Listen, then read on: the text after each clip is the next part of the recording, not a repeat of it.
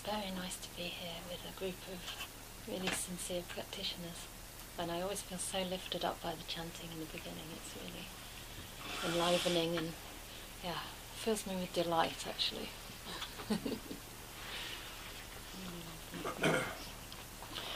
so I thought tonight I'd um, share a little bit more about my journey and what brought me into monastic life and also talk a bit about the importance that in my practice of um, of really exploring this field of uh, bodily sensations and the way that that's all connected to our emotional world.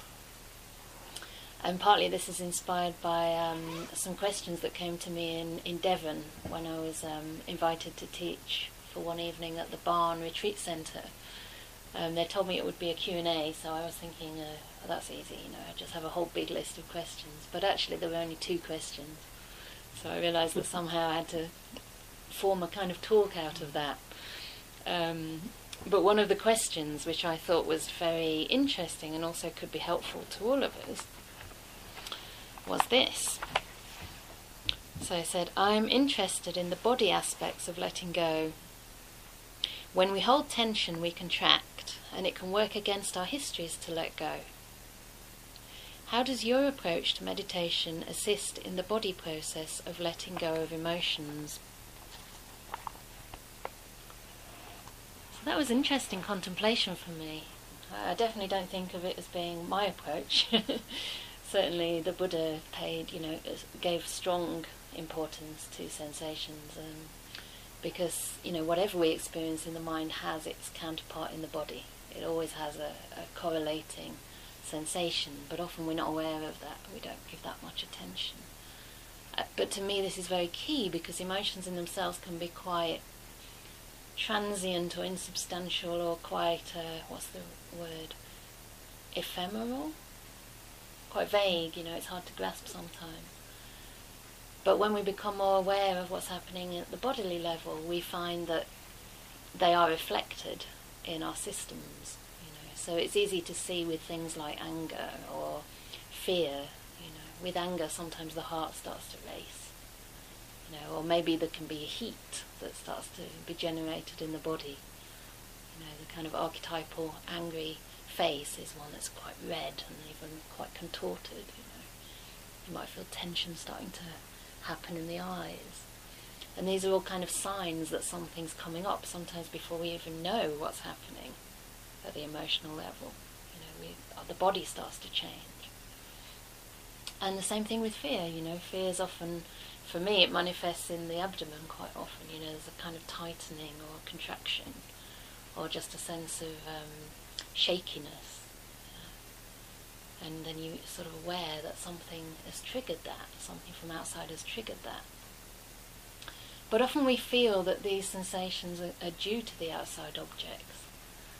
And in a sense, that's true because the outside objects come into contact with, with us at one of the sense doors. So the Buddha talked about, you know, the six senses.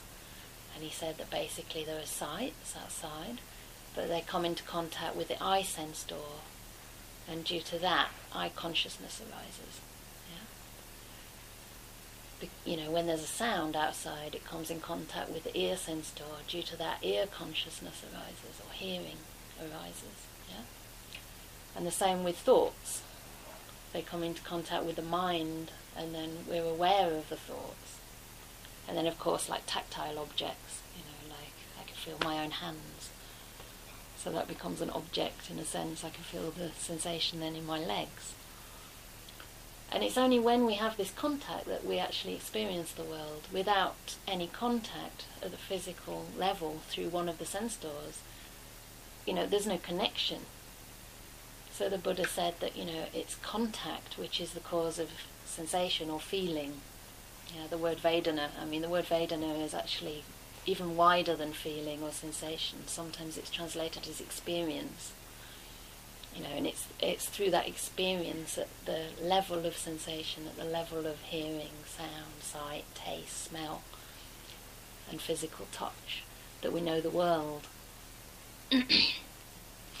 and so for my journey, it's been uh, a really key part. And I think for me, my interest in the spiritual path started with um, quite a strong period of depression, actually, in my teens at quite a young age.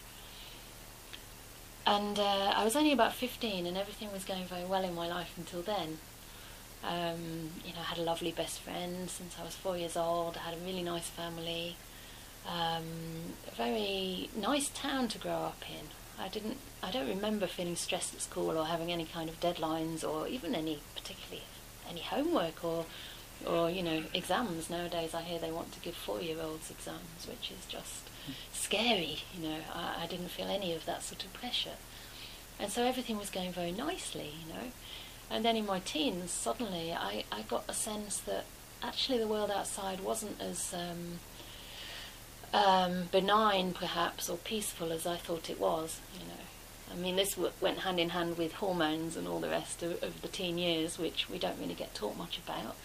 Um, so I wasn't expecting it, but um, I really remember sort of watching the news and and just being shocked at the atrocities we can do to each other. You know, and just and reflecting on why that can happen, realizing it was basically to do with greed and to do with power, most of the time. Um, and I, I remember just feeling kind of so much suffering related to that, and it felt like it was more than my own suffering. I mean, I had my own kind of teenage kind of what's the meaning, why am I here? But it was also a sense of why is the world the way it is, and why is there so much suffering? And more than that, what is the what is a wise response? Like how can I actually respond to that and do good in the world, you know? And at that time I just felt quite swamped by it actually. Um, and and no one around me seemed to understand that. You know, I'd talk to people and they'd just say, Well, you know, what's wrong with you? You've got a nice life, you've got a nice family, you're good at school and, you know, all the rest of it. And of course I started to feel perhaps that meant there was something wrong with me, you know, other people weren't feeling this. But it was a really a burning question, like why is there so much suffering, and and what is a compassionate response? And I think for me that was the beginning of a spiritual path. At the time, obviously, those sensations, you know, I had a lot of crying, I had a lot of, um, I guess you'd just call it depression and despair. Um, and I think I was very aware of that. I had the awareness, but there was also the rolling in it, you know, and getting swamped by it and, and very identified with that and not really knowing how to navigate it very well, you know.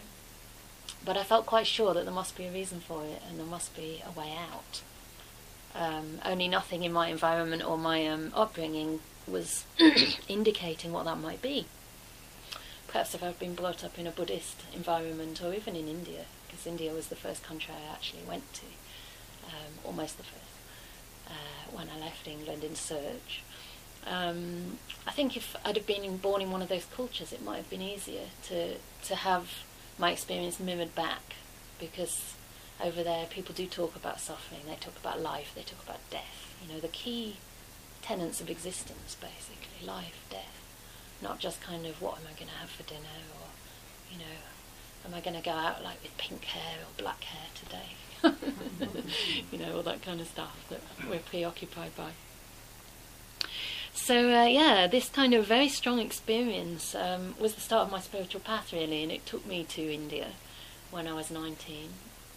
Felt a bit adventurous. The previous year, I'd been to Israel with my best friend, and uh, and this time we felt we wanted a little bit more, like maybe more of a challenge. But honestly, you can make a story around it. But to me, it feels more like a calling. you know, I can give my reasons for why I went there, but there weren't really any. It was just let's go. and um, as soon as I got there, I realised there was. I mean, at first it was very intimidating to be kind of the only young white woman in the street, and uh, apart from my friend, and just see basically Indian men around me and a lot of uh, what looked like rubble, really, mud and wires hanging here and there, and buildings that were kind of toppling in on each other. And we were in one of the poorest and roughest parts of the city. Um, but uh, yeah, after a few days and, and the journey to the Himalayas, I started to relax a bit, and I just started to realize that people seem to have a sense of something beyond themselves.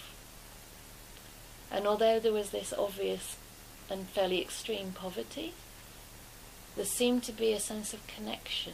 People seemed to be connected to a life force or a kind of sense of being part of humanity. Yeah, part of whether it was a community or whether it was like a large family or even perhaps a religion. It seemed like people had some kind of connection that I wasn't feeling. And there was a certain joy there. And I also intuited that this was not because of the su- it was not because there was no suffering. It was more um, perhaps due to a connection to it, which brought about a greater sense of appreciation and gratitude for life. So people could have very little, you know, but there'd be a certain aliveness and a certain sense of we have to make the best of this. We have to, you know, use our life for something really worthwhile.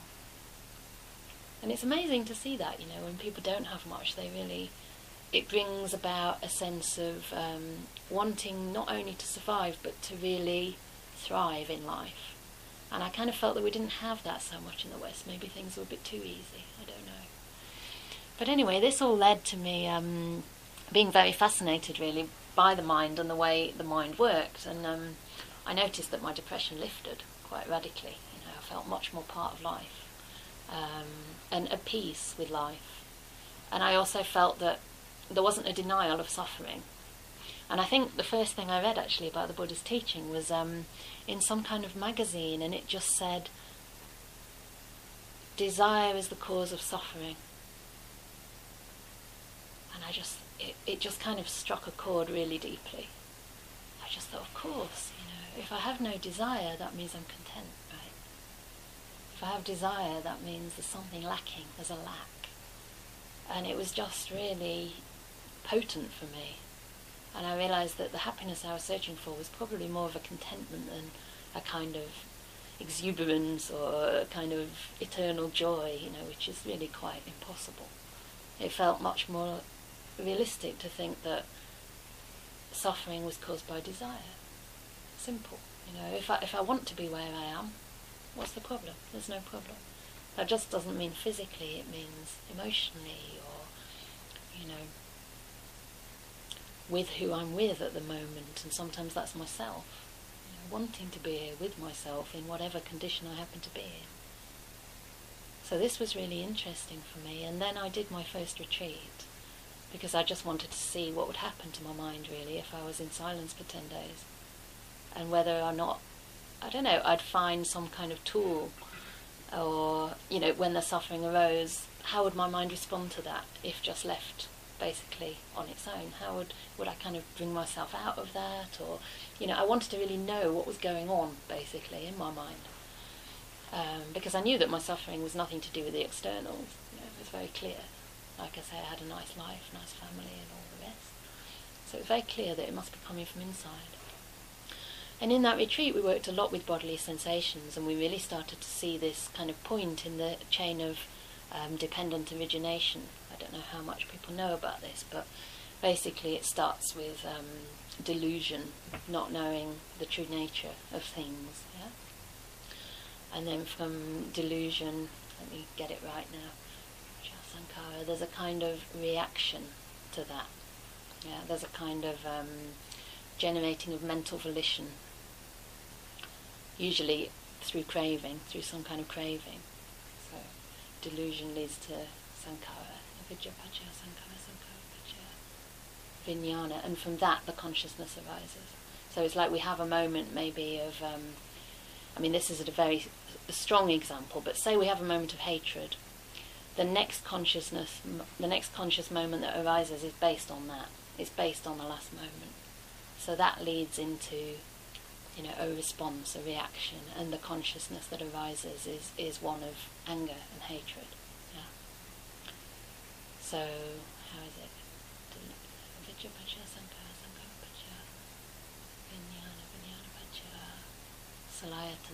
So when there's consciousness, then we get the six senses. There's consciousness at the eye, the nose, the ear, the tongue, the body, and the mind. And from that, we get the contact with the world. So because we have these senses, we have also the corresponding sense objects in the world, and when they come into contact, then the sensation. So the next thing is from contact, we get experience or sensation. And the really interesting link is that from that sensation or that contact, craving arises, desire arises, or aversion arises, yeah? And so this is what I was pointing to in the meditation, that when we have, say, a pleasant experience, it tends towards a response of wanting more, yeah? There's the underlying tendency to greed whenever we experience pleasant sensation through any of the sense doors. When we experience unpleasant sensation, then we have this like corresponding tendency to aversion. We don't want it. We want to kind of get rid of it or push it away. And then with the neutral sensation, which is kind of neither pleasant nor unpleasant, it's kind of perhaps a bit undefined or difficult to experience. You know, we have this underlying tendency to boredom or disinterest, so our mind just kind of turns off to it. Sometimes that's experienced in getting a bit drowsy or falling to sleep. So there's these sensations, and you know, the not wanting or the craving is a kind of reaction to that. And from there, the suffering, you know, starts to accumulate basically. And so this is a very pivotal point in the path, you know, where we can start to come in contact with what's happening and yet notice when we start to react in ways that generate more suffering and perhaps learn a different way of responding. So the question that this lady wrote to me, you know, about um, the body aspects of letting go and, and holding tension in the body, it's kind of often the result of a lot of these reactions and responses to something that arises that we don't want, you know. And so our bodies kind of tense up to it. For example, say in trauma, if there's a trauma, it's often really lodged in the body, you know. Or if, say, you do too much work on the computer, which I often do, and there's a certain stress involved in that, and you feel the shoulders kind of come up, you know, and then you start holding it a certain way. Or even something subtler, say, you know, say you are someone with quite a lot of anxiety, you're kind of trying to protect yourself. So perhaps a part of you feels quite vulnerable, and there can be a contraction and a, a holding, you know, of the stomach muscles, for example, that you know you sort of want to go inwards. Sometimes you see people actually quite stooped, and you feel like it's a protective kind of posture. And what I was learning with this practice was that um, by coming in contact with these sensations, I could learn a different response. I could actually meet them at the level of contact and notice, first of all, how I was responding. And then also start to investigate kind of whether these sensations were really um, really solid in the way that I thought they were. Yeah. So the practice was kind of learning to really experience them, because first of all, with suffering, we need to meet it in order to understand it. Right? We don't just jump into the letting go, because often people ask the question, you know, how do I let go of tension? I mean, the main answer is that we first have to meet and make peace with that. We first have to actually experience what's happening and find ways to get close to it sometimes it's too painful to go into it with a sledgehammer or to just kind of use all your focus to kind of zoom in on, on that area. That might not be skillful, especially if it's something that's, you know, quite protective or quite delicate. We might want to kind of creep up on it gradually. And so for this, this tool of kindness is absolutely indispensable. You know, we have this ability to be aware as human beings. We have the ability to be conscious of what's happening. But we can also use that consciousness as a kind of medium through which we can channel kindness. It's like through that awareness we've made contact with the sensation, we've made contact with the inner experience. Now we've made contact, can we actually, you know, channel kindness towards that experience? Just the way you would meet a friend. When I came in here today, we all kind of hugged together. You know, each person hugged it was like a very gentle and very embracing feeling of yes, I welcome you, and I'm happy that you're here, you know, and I give you my kindness and my care. So in a way, we need to learn to respond to our inner world in the same way, like as a friend, not as something we control or something we judge, something we push around and say, hey, you know, I need you to be different, or don't come today, come tomorrow. You know, it's like, yeah, okay, you're here how can I meet you now with kindness and care? So I think this is really, really key in the meeting. You know, how do we actually meet? And we're meeting in order to understand. Yeah? So we need to meet in a way that we're able to actually stay with something long enough to understand its nature. So there are different ways of this, and I just wanted to talk about a few of them. I mean, like I say, one is kind of zoom in approach where you just kind of hone in on that sensation. But I think we have to be very careful with that. Sometimes we have a powerful mind and we feel ready, we feel confident. It's like the kind of child, I mean, I have a niece and she's quite fearless. She would probably see a pool of water and just jump, you know, or she'd see a tree and just like, she'd be up there before you could stop her. but this takes a lot of courage and a kind of sense of fearlessness. And also quite a sense of resourcefulness, safety. And we're not always feeling that safe. So the other method is to kind of imagine for example, you have that big lake or that big pool of water, and it's a little bit daunting, you know, it's somewhere we've not been before. So at first we just put our toe in, that's it, you know, just put the toe in, feel the water, okay, it's cold, take it out. That's as much as we need to do, yeah. So that's like when we're going through the body for sensations, we see something difficult, okay, it's difficult, let me just back off. I don't have to go right into it or stay there, you know, I can just feel it, back off a bit or give it a bit of space. You know. Maybe you don't want to be aware only of that area, but you can be aware of the area around it as well, so that it has a context. So it feels that it's held in something bigger. Yeah? And that's why I like to kind of get that whole body sense. Because sometimes we notice then, oh, there's more than just my suffering or my tension or you know the fear there's also something quite relaxed maybe in the hands or the feet or you know just a general sense of how it feels to sit upright. You know, there's a certain sense of ease in that, or ground. There's some ground in that. Yeah. So this is one way to kind of meet things, just putting your toe in. And then when that feels okay, you know, we can probably go in up to the knees and stay a bit longer. You know, it's a few waves. It's not too big. We can stay in a bit, and then gradually, you know, we might dare to actually swim and at that point, usually the ocean doesn't seem like a scary place. You can really dive right in, you know, and even float and feel held on the waves. But we can't do that all at once. We have to do it incrementally in steps. There was another nice example in my time at um, Gaia House in Devon. I've spent a few months there now, um, both as resident teacher, so helping people with their own practice, and also on retreat myself. And um, when I was on one of my retreats, this lady came and gave me a big tub of bird food before she left, and I thought, oh, now I'm going to be, you know, feeding the birds for the next month. I was a bit like, not sure I want to do that. But it was a really interesting experience because I noticed that in the beginning I'd put it on the windowsill, and the birds would be quite afraid to come up because they didn't know me. You know, I'd just arrived there, and so they'd only come when nobody was looking. You know, when the windows were closed.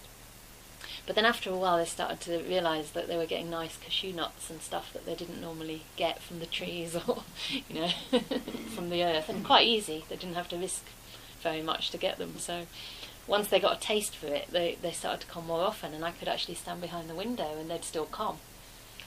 Uh, and it got to the point where I could open the window and they'd still come, you know. And then I tried very carefully with my little, um, what is it, a tablet thing to take a photo. And one day I actually managed to take a photo with them taking the food. And gradually they got used to this thing sitting there, and they'd still come, even if I was waiting with the camera. so they were starting to get kind of less fear, you know, and you could see it. You could see them starting to relax. And then at a certain point, I thought, would they still come if I actually held my hand out? It's just the difference between standing here and putting my hand there with the cashew nuts. And to my amazement, the, one little booty actually grabbed hold of my finger. I had to stay quite steady because it really grabbed, you know. And then it took the nut. And this happened. It started happening. Once it had taken it once, it realised it was safe. And it also, I put the biggest knot there, right? The other small ones were on the windowsill. so this is like meditation. Actually, sometimes the biggest piece and the one that you get most reward from is the difficult one. yeah, that's where the most scope for growth is. So it came to take this big cashew nut. And then I, I, I decided to play a little bit, and I thought, will it still come if I put, like, not the cashew nut, just another thing in my hand? And the next time it came, it saw there was no nut. it bit me. it bit me. Yeah. So it was starting to get pretty bold, pretty confident, you know. So I wouldn't advise that part of the process. But it was interesting to see how incrementally, you know, with realizing that there was a, a benefit and there was a, a kind of nourishment in coming closer, it, w- it was easier to start coming in. And I think it's the same with practice. When we start to gradually come closer to the bits that we've maybe rejected or maybe we're afraid of, we start to see that, oh, when we're actually able to meet that, there's a release. And I think there can be quite a lot of insight in that because you start to see that the suffering isn't actually in the sensation or in the emotion, it's actually in the not wanting it. It's in the resisting it that we have the suffering. Yeah. And just in learning to meet it, we develop a certain confidence and also compassion arises. Yeah. I mean, for me, it's certainly the most difficult experiences in my life that have, at the time, felt overwhelming, but later been the biggest kind of scope for really developing compassion into areas I didn't understand before. You know, and that has enabled me to be able to help others in similar situations, you know, that I could never have done before. But it's hard to remember that when you're in something. I know it's really hard at that time to remember. But um, yeah, there are so many different ways of working. So that's a kind of meeting in gradual stages. And then the next thing when we've met is to learn how to stay with something. Yeah? To learn how to really sustain our attention. And this is interesting too. We can really play with the way we use our mindfulness. You know, sometimes we can zoom in, sometimes we can come out again. Sometimes, you know, we want a, a more generalized feeling. Sometimes we want just a kind of, yeah, a tighter hold, maybe. You know, it's the same with the breath. Sometimes with the breath, we can really relax and sit back from it, and it can just come in and out on its own. At other times, we need to just hold it a little bit, just in order to keep it present. You know? But then, as soon as the grasp gets too tight, we tend to lose it. It slips off because the cravings come back into it. We're no longer just with the experience. Yeah, so this is kind of sustaining. And the most important thing at this stage, I think, is to keep very, very aware of your attitude. Very, very aware of qualities such as kindness and gentleness and patience. You know, and just having the trust that things will open up in their own time. Yeah. So not trying to let go. So when people talk about letting go and how do we do it, I would say it's not through, you know, trying to push things away. It's actually the opposite. Letting go is born of wisdom. When we see that things are actually causing us suffering, whether the sensations or our emotional reactions to them, it's easier to let it go. Yeah. So it's the obvious example uh, that the Buddha talks about as well in the suttas of the burning coal. You know, when you hold the burning coal, you don't need any anyone to tell you to put it down. As soon as you realize it's burning, you drop it. And as we become more and more sensitive to these sensations and to our reactions, and we see how we're creating our own suffering for ourselves, we start to gradually just let it go. Naturally. It's very natural. And that was the amazing thing for me after my first retreat, because I didn't think anything much happened there. I mean, it was just meeting this world that was quite intense and quite you know, unknown to me. Um, and realizing that, gosh, you know, my own reactions are causing most of my suffering. But also realizing the kind of implications of that, that that meant I could actually do something about my suffering, you know, without having to fix the world outside. I could actually learn to respond in a different way, you know, to, to respond with maybe equanimity, like just balance and patience, and also to see that this things were changing all the time anyway. You know, there was no need for me to hang on to them. And so seeing that kind of impermanence and, you know, the inherent kind of unsatisfactoriness of these things really helped me to start finding more contentment in my own experience, whatever was happening, and to get less pushed about by, you know, by the world and by the kind of vicissitudes, the ups and downs of life. And the amazing thing was, even though I hadn't had any big revelations or much particular joy or bliss or any of those things that, you know, are talked about in deeper meditation, after my retreat I found there was just much less interest in things even like music, which I was really very quite obsessed with at that time, you know. I absolutely loved music and also reading a lot or just generally entertaining myself, you know. I guess I'd realised that I was just content without that. Yeah. And it wasn't a kind of condemnation of those things at all. I mean, if I wanted to listen to music, I would. You know, I wasn't a nun at that point, so it wasn't a problem. But I just found it more pleasant to be really engaged with the moment and with whatever I happened to be doing. You know, and I was having so many new experiences in India. Just getting on a local bus, going up to the Himalaya, you know, and being surrounded by people there from all kinds of different uh, traditions or ethnic backgrounds, you know, and chickens in there, goats in there sometimes.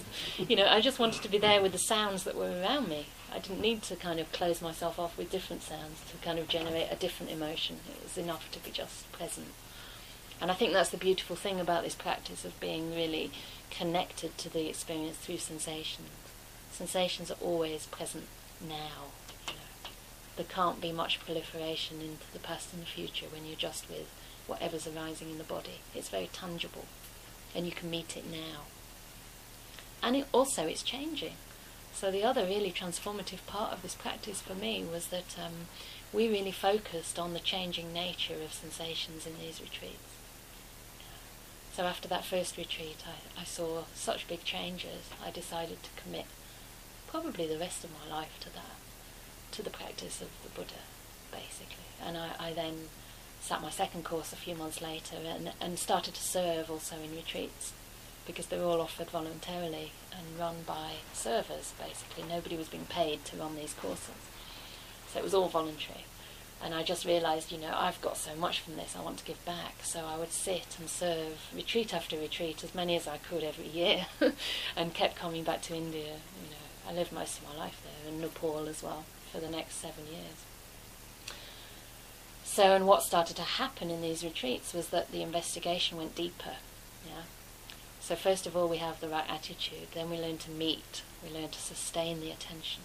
But the next stage is to investigate, and this is where the wisdom starts to take off. You start to see that these sensations are constantly changing. Yeah. We think something solid, like a pain in the knee or even fear, can feel quite okay, it feels fluttery, but it's kind of permanent. It's lodged.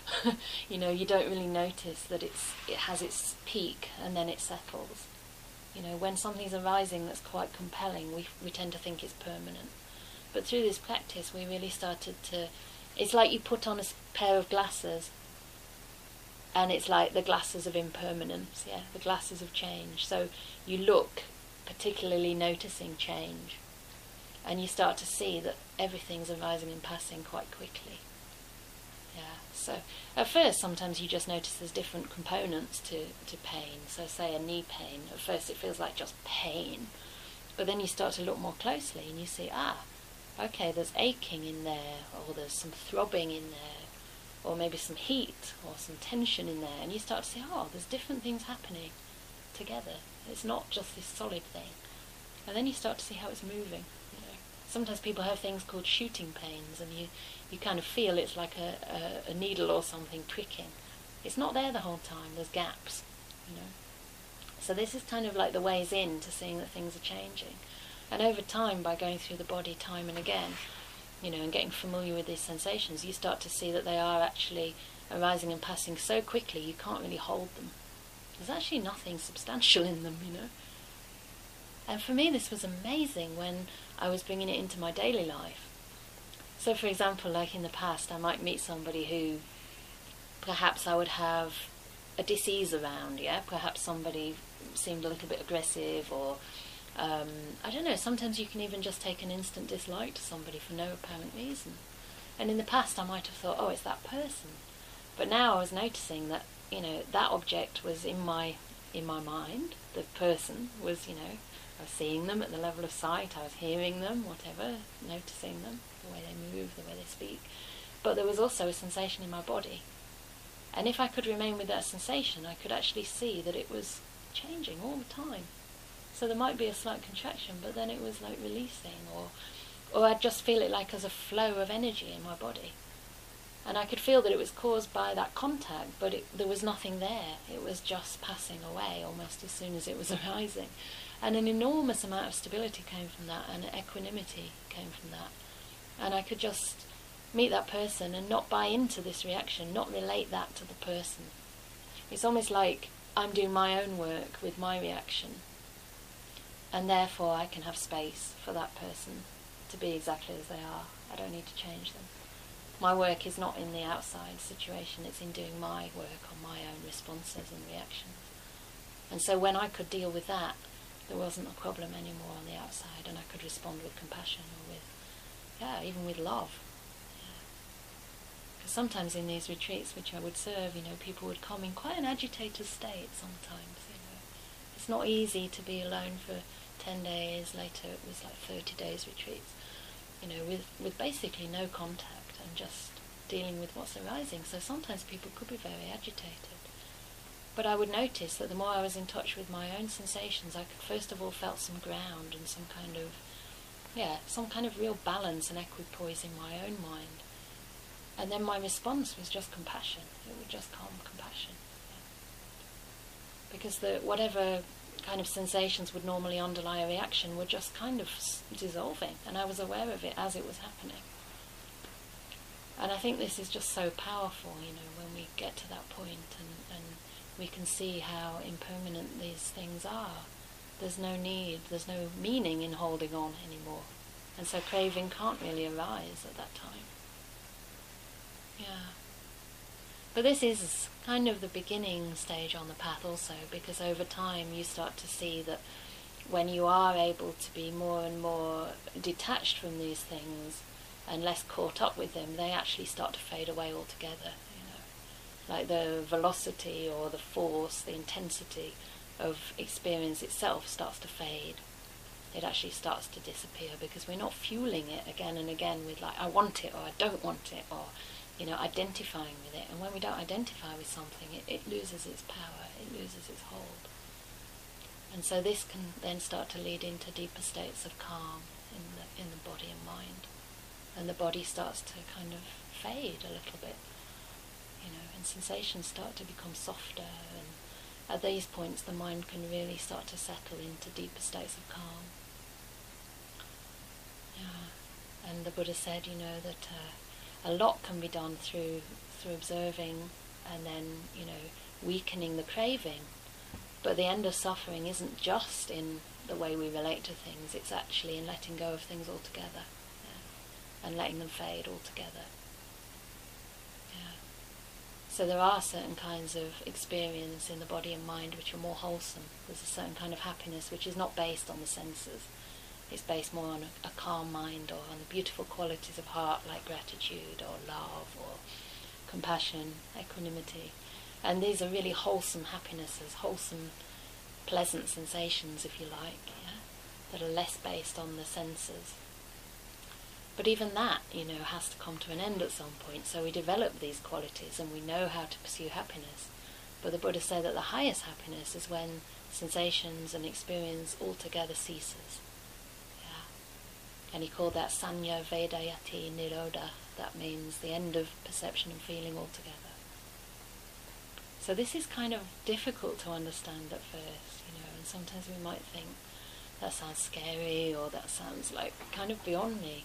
But I think the beauty of this practice is that we start to see that the less we hold, the less things kind of have a hold on us, you know, and things start to fade. And when things start to fade, you know, even in the practice, the body starts to fade or the breath starts to become much more subtle. There's more happiness, there's more peace. And we can really allow that peace to fill the mind and to kind of dissolve a sense of self, actually, dissolve a sense of needing to be the center of experience all the time. You know, it's almost like the more we let go, the more the Dhamma can start to manifest. Yeah, the qualities themselves. So enlightened people aren't people with no feelings. You know, they're people who basically run on compassion and loving kindness, and equanimity and joy. These are the qualities that they, they have because you know the other reactivity and identification with experience is completely gone. They don't identify. It's not like my problem if I'm feeling sadness. They can let the emotions come. I mean, the emotions are likely to be very, very subtle indeed, you know, but uh, they're not they're not holding onto that. And when you don't hold, things fade, right? I mean, if I have sand in my hand and I kind of, you know, part my fingers, then the sand falls away. My hand's empty. Or when there's a hot coal, you know, and I let it go, it's, it no longer burns me. So it's similar to that, and it's an incremental thing. So I'm not sure if um, I didn't quite intend to go to that point, and I realise there's a sort of danger in doing so, in a, in a sense. But I think I also just want to encourage everybody that it's a gradual process, and that we can get clear signs on the path of which way we're moving. And I think as long as you maintain in mind that this path is supposed to lead to a disengagement, a letting go, a pacifying, and a peace, then we know how to meditate. Yeah? Because whenever you start to react to anything that's arising in the body or mind, and it's easy to see at the level of sensations, whenever we start to react to that, we increase our own suffering. We compound it. You know, it's like, oh, this is a problem, and the mind just goes straight to the problem. But when we can back off, you know, so to speak, like mentally, emotionally, even energetically, you know, so for example, by widening the felt sense of experience, the mind tends to contract when it's, you know, getting pulled into something difficult. Widen it again, step back from it again. Then you notice things start to settle down. And when they start to settle, notice that too, you know, because that's really important. So at the end of the meditation, I always say, like, notice what happened, you know, what happened when you reacted, how was that? What happened when you used kindness, how was that? How did that affect experience? It's not to say it's right or wrong, but just learn how the mind works and learn what kind of qualities help in the practice. And you can be sure that if it leads to peace and disengagement and and contentment really, then you're on the path. But it's gradual and we don't jump to that we first meet it. Yeah. That way we turn suffering into something that has the potential for liberation. So welcome your suffering.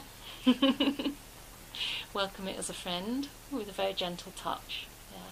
And don't forget curiosity and play and patience, lots of patience. Yeah. So that's all from me.